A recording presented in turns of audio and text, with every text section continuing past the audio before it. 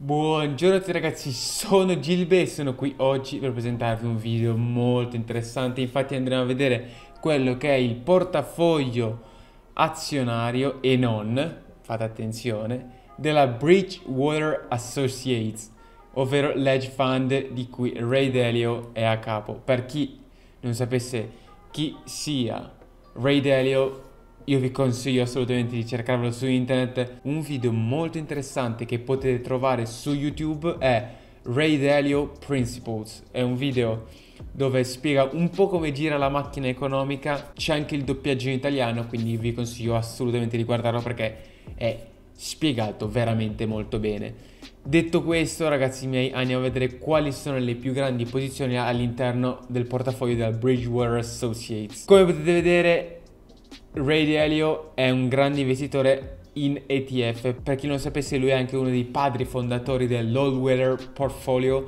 In prima posizione con il 16% del portafoglio, quindi una grande fetta, abbiamo un ETF sull'S&P 500 che come sapete tutti ha all'incirca un rendimento medio che va dall'8 al 10% anno, quindi tantissima roba. Considerate che infatti dovendo gestire un hedge fund devi sottostare a delle regole un po' più ferree. È ovvio infatti che non puoi investire 20 miliardi in una penny stock perché ci sono i regolamenti che non lo permettono. Quindi, come potete vedere, questo portafoglio qua è un molto conservativo ma ha storicamente ottenuto dei rendimenti spaventosi. Alla seconda posizione abbiamo un ETC che replica l'andamento dell'oro e ha una posizione molto grossa che è all'incirca del 12%, l'11,64%.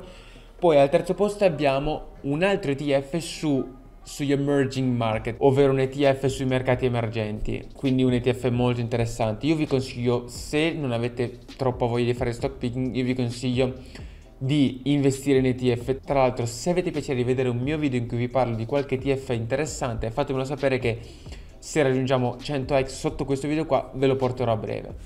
Detto questo proseguiamo con il video. Qua arriviamo alla prima azione che ragazzi miei conoscerete tutti è Alibaba dove anch'io sono investito. Considerate che lui ha 1,33 milioni di azioni Alibaba e tra l'altro come potete vedere ha praticamente aumentato il 40% la posizione nell'ultimo quarter che vi fa capire quanto effettivamente creda nella Cina, perché non sarà l'unica azione cinese, ma ce ne saranno veramente molte. Quindi fate attenzione così capite un attimo quali sono secondo voi i movimenti che potrebbero essere interessanti per i prossimi anni.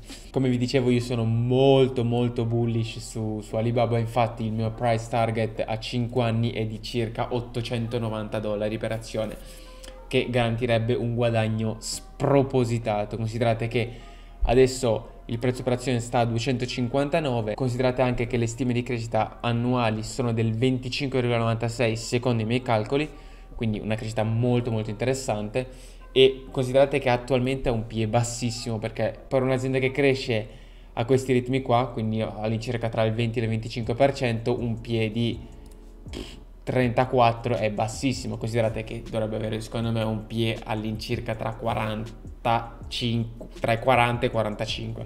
Quello sarebbe un PE giustificato, 34 mi sembra bassissimo. Infatti, come potete vedere, è crollata molto Alibaba. Considerate che dai massimi vediamo quanto dista, però mm, se non ricordo male dista veramente ancora parecchio. Considerate che dai massimi ha perso il 17%, vuol dire che tornando ai massimi vi garantirebbe già un guadagno del 23, tornando ai massimi solamente. Cioè intorno ai 319 vi garantirebbe già un guadagno del 23%.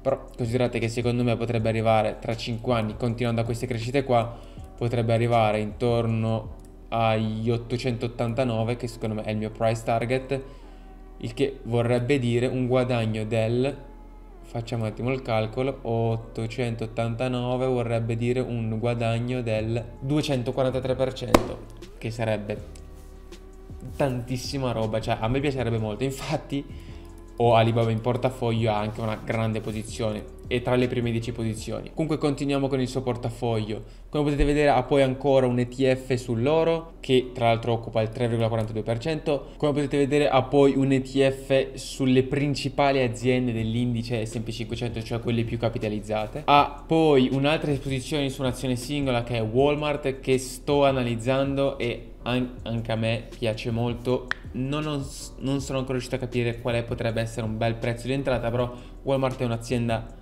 molto molto interessante e tra l'altro ragazzi miei è una delle ultime entranti all'interno del portafoglio di uh, Ray Dalio. Infatti le ultime sono Walmart, Procter Gamble l'ETF sugli emerging market Alibaba che ha aumentato la posizione e Johnson Johnson.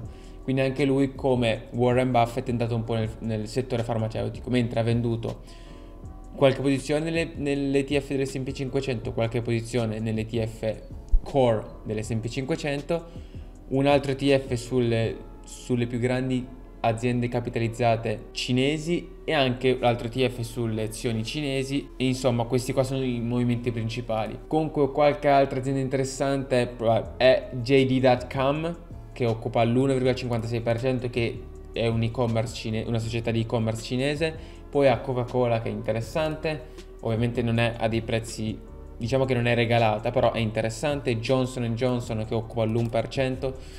Tra l'altro, ragazzi, io sento da tantissimi youtuber parlare benissimo di Johnson Johnson, ma a me non fa impazzire. Infatti, non l'ho mai acquistato in portafoglio. E tendenzialmente io ho molte aziende in portafoglio. E il fatto che io non ce l'abbia potrebbe già essere un'indicazione del fatto che secondo me non è troppo interessante. Però fate le vostre dovute valutazioni.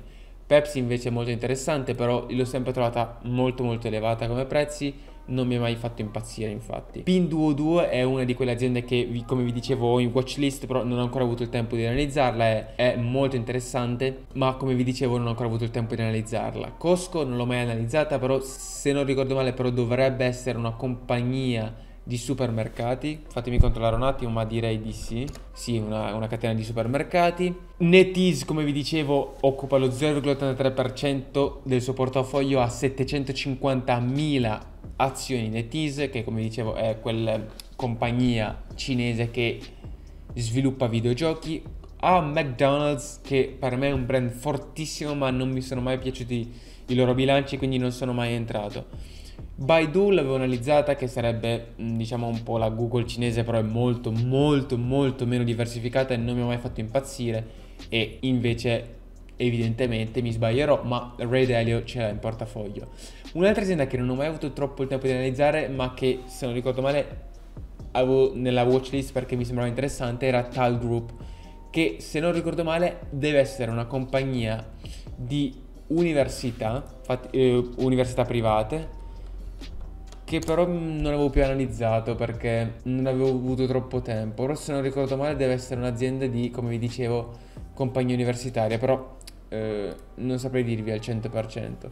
Poi tra l'altro a Starbucks, che tra l'altro mh, ho visto in pochissimi portafogli, quindi potrebbe essere interessante. E poi ragazzi miei, anche lui, anche Ray Dalio ha la sua posizione in NIO.